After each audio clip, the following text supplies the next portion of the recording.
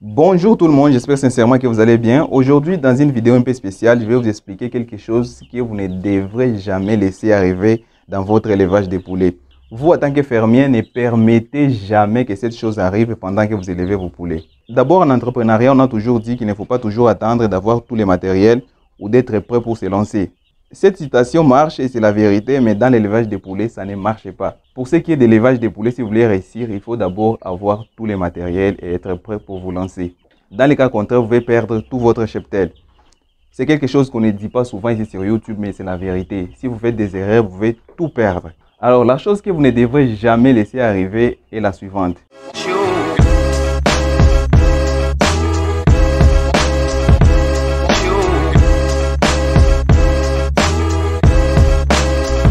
D'abord, pour bien comprendre, je dois sortir à l'extérieur pour bien vous expliquer. Ici, je me trouve déjà à l'extérieur de ma ferme et c'est là où je vais vous expliquer clairement ce qui se passe. Waouh, un petit bagnole ici. Je pense que prochainement, je dois faire une vidéo des choses que j'arrive à m'acheter grâce à l'élevage des poulets. non, c'est juste une blague.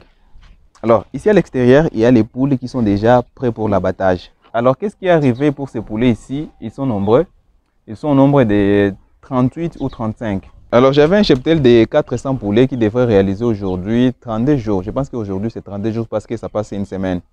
Alors, tout juste au 28e jour, ils avaient déjà atteint les poids nécessaires pour passer à l'abattage.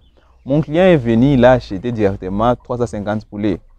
Alors, je suis resté avec 50 poulets que j'ai vendus dans, quelques ménages ici. Dans ces cas, dans mon cas, ce sont mes voisins qui ont pris les autres poulets. Alors, je suis resté avec ces 35 poulets ici qui vont bien sûr sortir.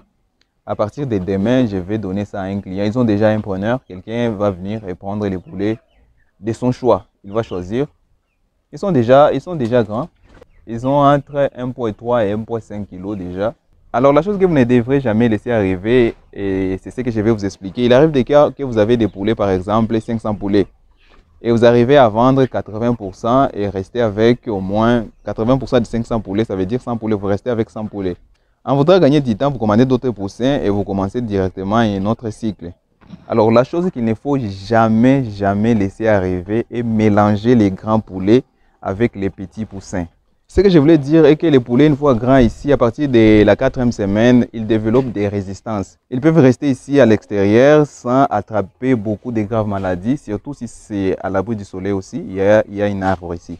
Alors les poulets qui sont déjà grands et qui sont prêts à l'abattage ne peuvent à aucun cas être mélangés avec les petits poussins. Il y a une règle qui explique que vous pouvez laisser les poulets grands qui sont déjà grandis avec les petits dans une distance de 20 mètres. Ce qui veut dire, ici dans les bâtiments où se trouvent les petits poussins, et là où se trouvent les grands poulets, je dois avoir une distance, je dois respecter une distance de 20 mètres. Pour mon cas ici, de là jusqu'ici où se trouvent les petits poussins, il y a une distance de 15, ça doit être 15 à 17 mètres. Ce n'est pas bien respecté.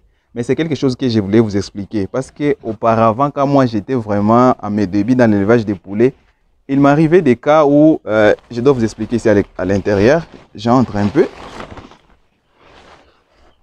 Alors, quand j'étais dans mes débuts dans l'élevage des poulets, il arrivait des cas où j'ai divisé mon local. Ça peut aussi vous arriver, vous avez un local très grand et vous divisez les locales, par exemple, par des.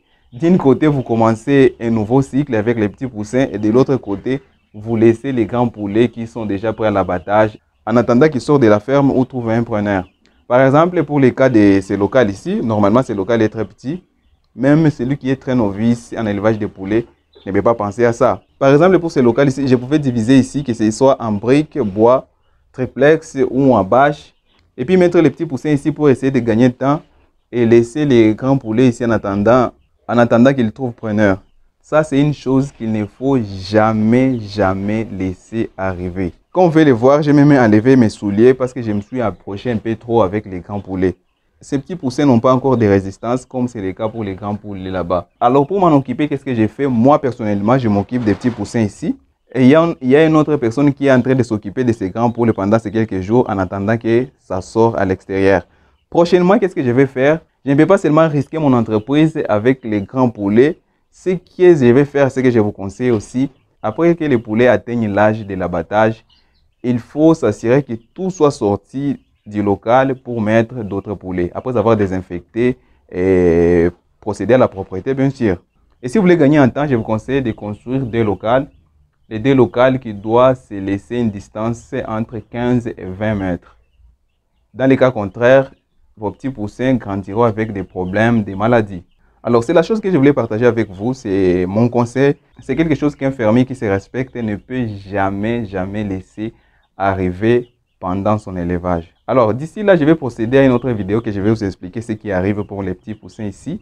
C'est pourquoi n'oubliez pas de vous abonner et activer la cloche de notification parce que de nouvelles vidéos arrivent chaque fois sur cette chaîne. D'ici là, portez-vous bien. On se retrouve à la prochaine vidéo. Ciao.